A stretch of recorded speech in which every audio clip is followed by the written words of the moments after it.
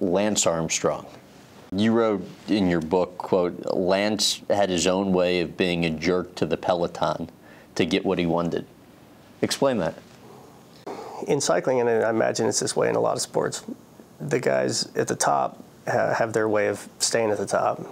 And his way was he liked to be intimidating. He liked people to be afraid of him. And, and it wasn't as if he went around doing things uh, intentionally to try to try to look like a bully, but if he felt like somebody did something that was going to affect him or got in his way, he made sure they knew about it. He made sure that they understood that he believed he belonged in the front or that he believed that they should stay out of his way. How so?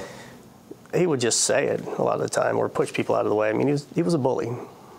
Um, that's not my personality. That's not how I would, would have done things, but that's his way of doing it, and, and it worked for him. I mean, he didn't have a lot of friends. You also wrote in your book, quote, for Lance, it was basically a war. And sometimes it wasn't even a war to win, it was a war to inflict suffering. How? The difference between Armstrong and I is he got satisfaction out of making people lose. He likes to, to see people lose. I got satisfaction out of winning, and it didn't really have anything else to do with other people. I mean, I'm sympathetic to them. I've been in their position before. But for his whole life, he's always been at the top. From the time he was 16, 17, he was he was always treated as if he was royalty in the sport. And so, for whatever reason, whether it's a personality thing or, or, or the, just the way he thinks, his satisfaction in winning is not in winning itself. It's in, it's in making sure other people don't win. And I, I can't relate to that. Do you have any idea why? No, but it's not a pleasant human being to be around. You said in your book that he would never allow anyone to ever goof around on the team, even if it was in the off time. What was the reasoning for that? He, he liked to be in complete control of whatever situation he found himself in, and so if he wasn't the guy telling the joke, you didn't laugh. If he wasn't the guy talking, nobody talked. Um, again, it was his team. Uh, he, he, he was perfectly allowed to run it that way, and, and while I was there, I respected that, but I couldn't wait to get out of there once I realized what it was actually going to be like. I mean, it, once the, the novelty of being on the tour team with Lance wore off, I didn't have any desire to stay. Why did you begin getting frustrated with how the team sort of revolved around Lance? Well, because the team revolved around Lance in such a way that it prevented anyone else from getting any real results for themselves. And I guess I just expected that for the team that claimed to be the best team in the world, and, and when you were trying to get a, a, job with them or when they were negotiating with you, made it seem as though you, you should be honored to be on the team.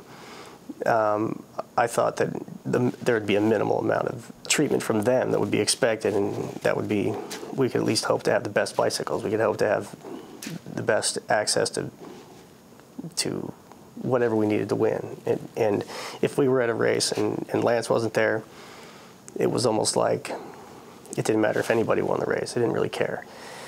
And at some point, I decided that that wasn't good enough for me. And I mean, I know it's not that way on other teams. They don't have somebody that goes that far out of their way to make sure that they're the only one that gets any of the credit.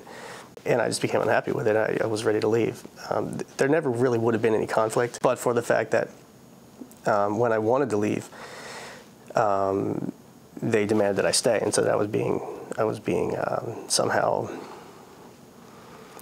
um, disloyal to them for wanting to leave in the first place. When the fact is, I, I did my job better than they could ever have hoped, and I and I I worked through the end of my contract as well as anybody could have expected, and uh, that was that resulted in some some real tension between Lance and I, and, and I never really got over it. Never really forgave him for it, and he never really wanted to be my friend after that. So feelings, I guess, is mutual. You spoke about his mindset and how he could be an unpleasant person to be around. How would you describe his personality? He's a bully. I wouldn't, I wouldn't give him any credit other than that. Why? He, he, feel, he has a sense of entitlement that defies any kind of reason. I've never met anyone like it, and I don't hope to meet anyone else like it. Where do you think it comes from? I don't even care. What do you recall from your training sessions with him? The first year I was there on the team in, in 2002, uh, I spent a lot of time just he and I training. Um, We went to uh, San Moritz for probably two months before the tour in 2002, and I enjoyed it at that time. When it was just he and I, he, when you're training that hard, you're often focused on that. And if there was something to talk about about the racing, things like that, if if I had a question, he'd give me advice. But Right, you're just getting into the Right. elite ranks of cycling, and Right, you're so there was a lot training with Lance Armstrong. yeah, and there was a lot for me to learn. Uh, to me, there was a, a novelty that oh, that overwhelmed the the fact that it wasn't really just any fun, but I was learning a lot. That's what I wanted. Was a negative personality trait that glaring then too? In hindsight, yeah, but I didn't notice it, and I Okay. didn't. I guess I still believed a lot of the story, whatever that story is. What But- you got from reading the book? Right. What what everyone else know, what everyone else knows about the story he's created. Um, but I, yeah, over time I just didn't find it pleasant.